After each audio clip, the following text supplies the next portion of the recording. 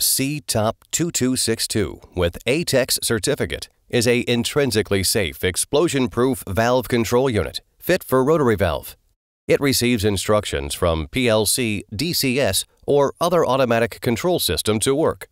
Feedback the current valve position signal to PLC, DCS, and other automatic control system. Feedback signal PNP, NPN passive contact 4 to 20 milliamp. It can also communicate through IO-Link or ASI v3.0 version of the bus communication. Each location will display its current status through a different location color LED light. Precision can be set on site.